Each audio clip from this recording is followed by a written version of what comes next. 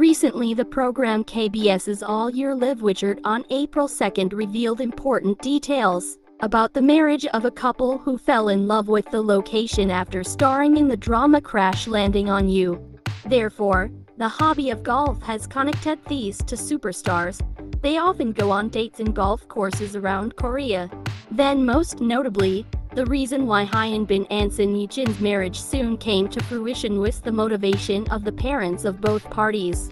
It is known that the parents of Hyun Bin and Son Ye-jin are very satisfied with the other half of their child. The two look very compatible, both match in appearance and fame, and have the support of their parents, so it's not hard to understand when they became a happy and powerful couple in the entertainment industry.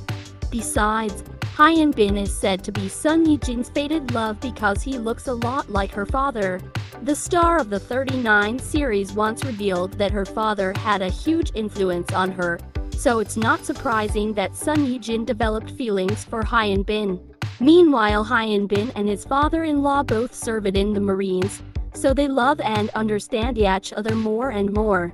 According to Korean media, Son Ye-jin is also highly adored by her husband's parents. Since the couple started dating, Hyun Bin's parents often urge the couple to get married because they don't want to lose this beautiful bride.